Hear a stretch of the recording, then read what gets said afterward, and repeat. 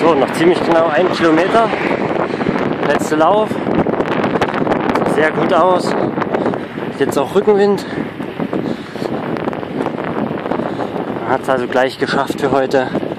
Wieder ein sehr, sehr gutes Programm, wie eigentlich jedes hier in Portugal bislang.